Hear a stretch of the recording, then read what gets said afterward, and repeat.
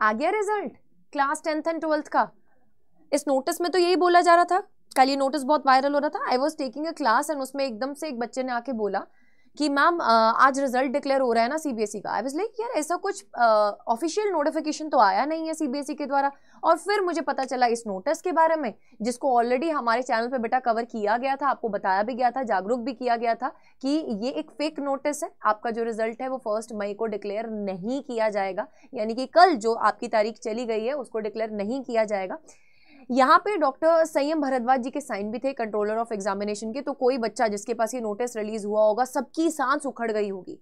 है ना? इसमें साफ़ साफ़ बोला गया था कि ये डिक्लेरेशन ऑफ़ क्लास टेंथ का जो रिज़ल्ट है उसका नोटिफिकेशन आया है आपके पास। एंड uh, काफ़ी सारे बच्चे वर लाइक कि मैम टेंथ का रिज़ल्ट तो आज फ़र्स्ट मई को आ रहा है और ट्वेल्थ का मैम बोला जा रहा है कि थर्ड मई को आएगा। तो अब ये जो अफवाह है बेटा ये तीन मई की उड़ गई है कि तीन मई को आपका रिज़ल्ट आने वाला है। तो यार ज़रा दिमाग लगाओ सोचो रुको। ऐसे कितने सारे नोटिस हर साल वायरल होते हैं? ऐसे कितने सारी न्यूज़ हर साल वायरल होती हैं? हर साल तुम्हें वही, है ना, सुनने को मिलता है कि आज आ रहा रिज़ल्ट कल आ रहा रिज़ल्ट इवन कि मैं अगर क्लास ट्वेल्थ वालों की बात करूँ, उनको तो अब अवेयर हो जाना चाहिए यार कि यार दसवीं कक्षा में भी ऐसे ही हुआ था, है ना? काफ़ी सारी मल्टीपल डेट्स निकल के आ रही थी। तो अब नई डेट तीन मई निकल के आ रही है आपकी। बट यहाँ पर एक्चुअली आपको सिर्फ़ इतना बिलीव करना है कि आपको इस जंगुल से बाहर निकलना बेटा। जो रिज़ल्ट है, जिस टाइम बोलते हैं ना यार कि जब तक भगवान नहीं चाहते हैं, कुछ भी नहीं हो सकता है। कुछ भी आपको आपकी किस्मत में जो लिखा हुआ है, जब टाइम आना है, मिल जाना है। टाइम से पहले कुछ भी नहीं मिलता है तो टाइम से पहले रिज़ल्ट भी नहीं मिलेगा। जितने भी मेरे क्लास टेंथ वाले स्टूडेंट्स हैं, जो अभी इलेवंथ में आए हैं, वो फोकस करो। है ना? रिज़ल्ट आ जाएगा। आपके पेपर्स बेटा ज़्यादा मुश्किल नहीं थे इवन की, है ना? जो मार्किंग है, वो भी बहुत बढ़िया की गई है रिज़ल्ट भी बहुत बढ़िया आएँगे। इवन की क्लास ट्वेल्थ वालों की भी बात करूँ, एक आधा पेपर बेटा मुश्किल आया था, आपका फिजिक्स का पेपर थोड़ा हार्ड आया था बट सुनने में आ रहा है, उसमें moderation policy and grace marks मिलेंगे। सो फ़िक्र मत करो टेंशन मत लो, अपने आगे की गोल्स की तरफ़ ध्यान दो। दसवीं वालों को तो मैं स्पेसिफिकली बोलूँगी अपनी क्लास इलेवंथ का सिलेबस देखा, आपने स्ट्रीम देखा, आप कौन सा चूज़ करने वाले हैं? आप साइंस में नॉन मेडिकल में जाने वाले हैं मेडिकल में जाने वाले हैं, या आप कॉमर्स लेने वाले हैं आर्ट्स लेने वाले हैं, कुछ आपने सोचा? आपने प्रेपरेशन बेटा स्टार्ट करी? आपने सोचा कि मैं इस स्कूल को टारगेट कर रहा हूँ, मैं यहाँ पर जाने वाला हूँ? कई बच्चे क्लास इलेवंथ में आके स्कूल चेंज कर लेते हैं। तो इन सब चीज़ों पे ध्यान लगाओ।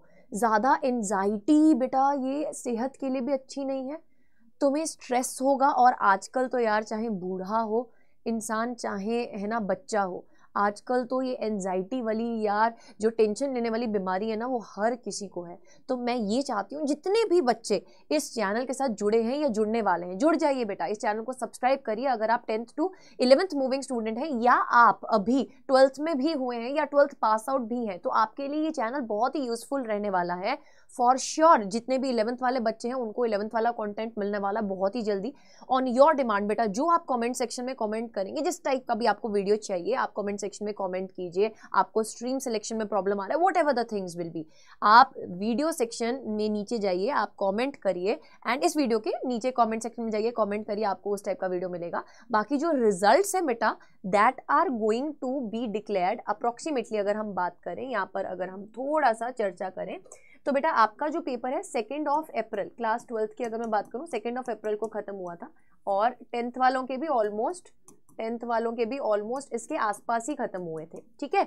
सो अगर हम बात करें यहाँ से बेटा तीस से पैंतीस दिन का तो मिनिमम प्रोसेस रहता है। तो आपका जो ब्रैकेट निकल के आता है इफ़ेक्टिव ब्रैकेट मैं बोलूँगी that is from six May to fifteenth May. This is the effective bracket जिसमें आपका रिज़ल्ट निकल के आएगा। तो इस दिन के लिए आप आज से ही इंतज़ार मत करो।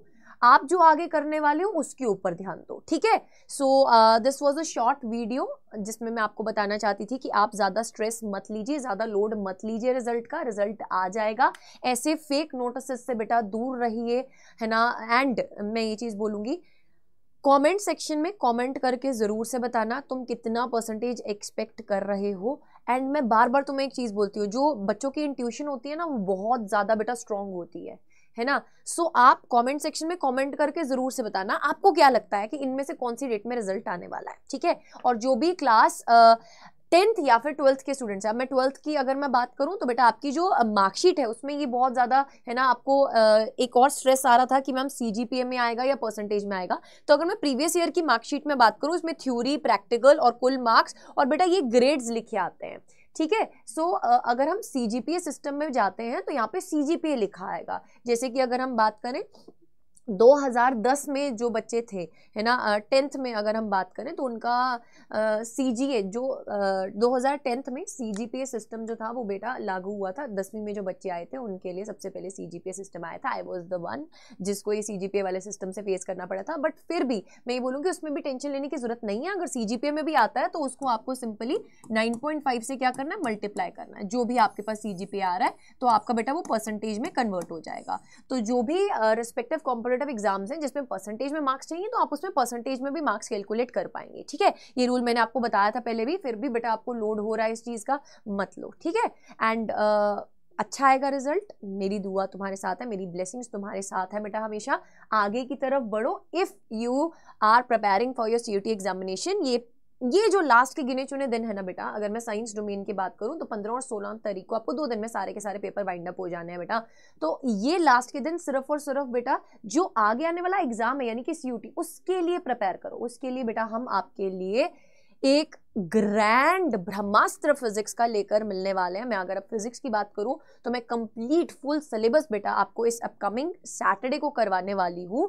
तो उस इवेंट में जुड़ना मत भूलिएगा। सुबह 11 बजे से हमारा क्लास चलेगा, जिसमें हम कंप्लीट सीयूटी के लिए पूरा का पूरा जो है कंटेंट रिवाइज कर रहे होंगे। फ़र्स्ट चैप्टर से 15 chapter deleted topics deleted chapter सब कुछ कवर कर रहे होंगे।